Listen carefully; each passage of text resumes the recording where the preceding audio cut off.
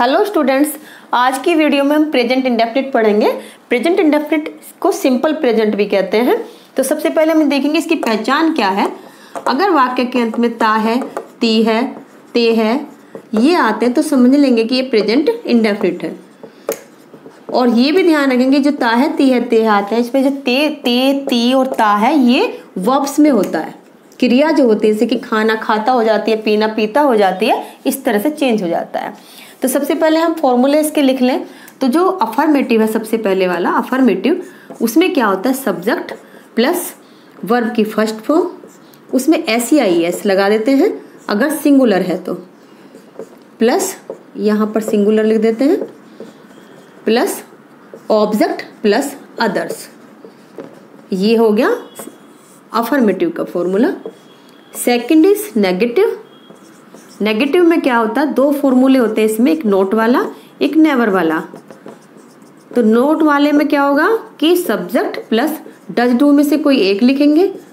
Plus यहाँ पर not plus verb की first form plus object plus others और नेवर वाले में क्या होगा? यही फॉर्मूला होगा, बस यहाँ पर नेवर पुट कर देंगे. तो subject plus never plus verb की फ़र्स्ट फॉर्म में एस आई एस अगर सिंगुलर है तो प्लस ऑब्जेक्ट प्लस अदर्स। और अगर हम तीसरा इंटीग्रेटिव देखें तो इंटीग्रेटिव के टू पार्ट्स होते हैं सिंगल इंटीग्रेटिव जिनमें यस नो का पता चलता है। तो सिंगल इंटीग्रेटिव का क्या फॉर्मूला होगा? यही वाला फॉर्मूला सेम यही वाला होता है। बस क्या होगा कि ये first second third fourth fifth six इसमें छह चीज़ें हैं। तो इसमें क्या करना जो सेकंड नंबर की चीज़ है डज डू उसको पहले ले आएँगे सब्जेक्ट को बाद में ले आएँगे। तो फॉर्मूला हो जाएगा डज डू में से कोई एक plus subject plus not plus verb की first form plus object plus others और डबल इंटीग्रेटिव में क्या होगा? सिर्फ़ डब्ल्यू एच यहाँ पर एक्स्ट्रा हो जाएगा, शुरू में लगा देंगे, बाकी यही फॉर्मूला होगा सारा। यही वाला। तो W H plus does do plus subject plus not never इसमें ये ध्यान रखेंगे कि जो ये वाले फॉर्मूले होंगे इंटोगेटिव इसमें जो नोट वाला और नेवर वाला, वे एक जैसे ही बनेंगे, उसमें दोनों को अलग नहीं बनाएँगे। तो W H does do subject not never में से कोई एक प्लस वर्ब की first form plus object plus others ये फॉर्मूला हो जाएगा। डबल इंट्रोगेटिव का। अब एक इसमें होता है एम्फेसाइजिंग एम्फेसाइजिंग तो उनको कैसे बनाएँगे? एम्फेसाइजिंग का मतलब होता है दबाव पे कट करने वाले, दबाव दे के ज़ोर दे के कोई बात को कहना। तो इसकी पहचान होगी अवश्य या तो। ये शब्द इसमें ज़रूर होंगे। तो इसके लिए क्या करेंगे कि ये वाला फॉर्मूला नोट वाला बिना नोट के नोट वाले फॉर्मूले में नोट नहीं लगाना, बस। तो सब्जेक्ट प्लस डज डू यहीं से हम बना लेंगे प्लस नोट सॉरी नोट नहीं लगाएँगे प्लस वर्ब की first form plus object plus others तो आपने देखा कितना इजी है फॉर्मूले लिखना, और जैसे हम एक बार लिख के दो तीन बार प्रैक्टिस करेंगे तो हमें याद हो जाएँगे, फिर हम इजीली सारे सेंटेंस के बना सकते हैं। अब हम इसकी प्रैक्टिस करेंगे, जैसे अगर हम अफर्मेटिव का देखें अफर्मेटिव का मतलब होता है स्वीकारात्मक। किसी बात को स्वीकार करना एक्सेप्ट करना। इसमें नहीं, कभी नहीं, या क्यों कब, कैसे जो इंट्रोगेटिव वर्ड्स हैं, वो नहीं आएँगे तो समझेंगे हम कि ये अफर्मेटिव है। जैसे, वह हॉकी खेलता है। वह हॉकी खेलता है। अब हम सबसे पहले देखेंगे कि हमने पहचाना कैसे कि प्रेजेंट इंडेफिनिट है। इसमें ता है आ रहा है। तो समझेंगे कि ये प्रेजेंट इंडेफिनिट है। तो हम इसको इस फॉर्मूले से बनाएँगे क्योंकि ये अफर्मेटिव है। इस बात को स्वीकार कर रहे हैं कि वह हॉकी खेलता है। तो सबसे पहले सब्जेक्ट ही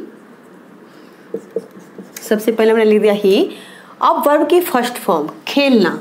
खेलने को हम कहते हैं प्ले एस आई एस लगेगा अगर सिंगुलर है तो यहाँ पर जो वह है, वह एक सिंगुलर है, एक वचन है।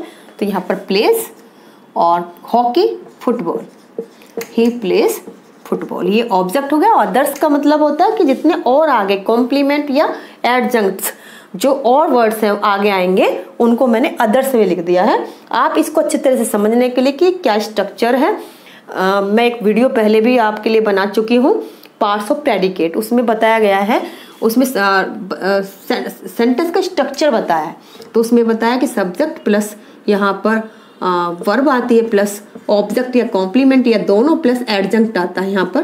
तो ये मैंने वहाँ पर फॉर्मूला बताया, उसके लिए आप मेरी पिछली वीडियो देख चुके हैं। तो उसमें मैंने कॉम्प्लीमेंट और एडजंक्ट को यहाँ पर सुविधा के लिए अदर्स लिख दिया है। किस तरह से लगाना है, किस फॉर्म में, किस लाइन में लगाना है, वो आप मेरी देख सकते हैं। मैं इसमें लिंक सेंड कर दूँगी आपको। तो वह हो कि खेलता इसमें ही सब्जेक्ट हो गया। खेलना प्लेस हो गया। वर्ब की फ़र्स्ट फॉर्म प्ले एस लग गया क्योंकि सिंगुलर है और फुटबॉल ऑब्जेक्ट लग गया अदर्स है ही नहीं तो छोड़ दिया। तो सब्जेक्ट का पता कैसे लगता है? कौन से पता लगता है? ऑब्जेक्ट का पता कैसे लगता है? क्या? कि जिससे खे, खेलना का वर्ब का वर्ब है यहाँ पर खेलना उसका फ़र्क जिस पर पड़ रहा है समझो कि वह ऑब्जेक्ट तो फुटबॉल और खेलना जितने भी एक्शन वर्ड्स होते हैं ये वर्ब्स होते हैं।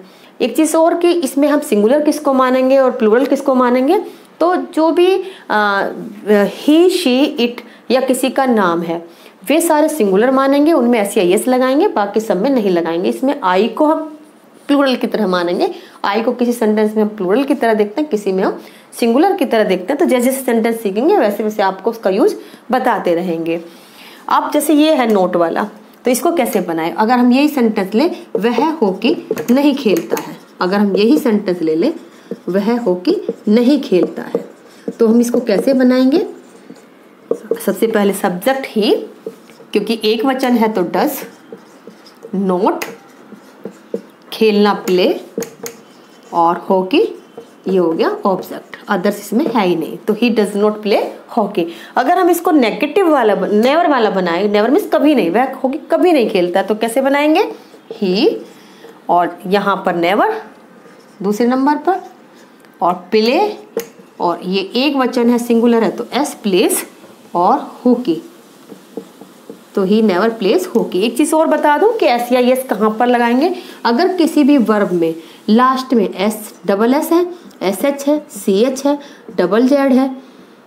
आ, ये अगर है तो ई एस लगेगा बाकी सब में एस लगेगा। लेकिन अगर वाई है किसी के बाद में उससे पहले कोई वोवल है जैसे कि से तो इसमें वाई के बाद तुरंत एस लगेगा तो ये हो जाएगा ऐसे वाई एस।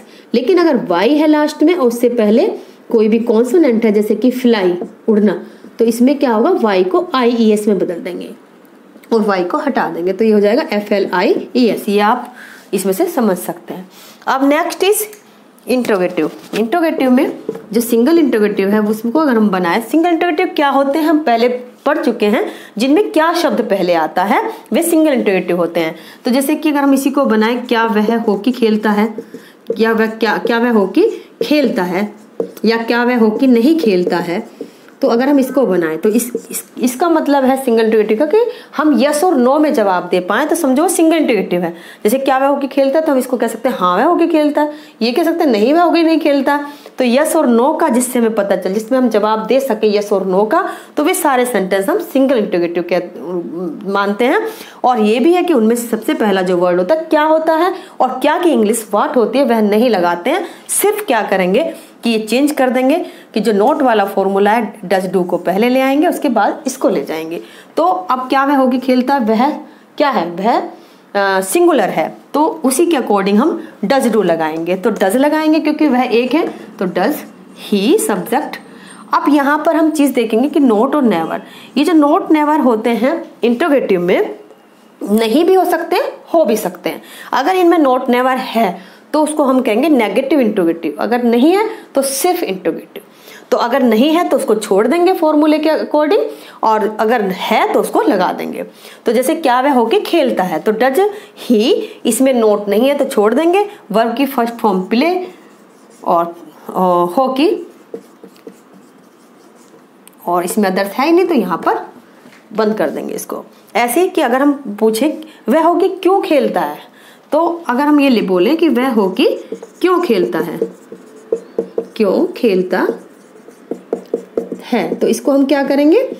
कि जो क्या, क्यों, कब, कैसे शब्द होते हैं, जितने भी इंटोगेटिव हिंदी शब्द होते हैं, प्रश्नवाचक शब्द, उनको हम सबसे पहले ले आते हैं जब हम उनको ट्रांसलेशन बनाते हैं इंग्लिश में। तो वह हो कि क्यों नहीं, क्यों खेलता है? जैसे मैंने यहाँ पर भी बताया, और वे सारे जो शब्द होते हैं, इतना भी ध्यान रखना कि वे डब्ल्यू या एच से शुरू होते हैं। तो क्यों को हम सबसे पहले लेके आएँगे? वाई क्योंकि हमें पता है कि डब्ल्यू या एच से शुरू होने वाले वर्ड को सबसे पहले लगाना है। उसके बाद डज डू लगाना है तो वह एक ही है। तो ही वो सॉरी डज क्योंकि एक से एक के साथ डज और बहुत सारों के साथ प्लूरल के साथ डू फिर सब्जेक्ट लगाएँगे तो ही और नॉट नेवर इसमें है नहीं तो छोड़ देंगे, अगर होता तो लगा देते। वर्ब की फ़र्स्ट फॉर्म प्ले खेलना और होगी।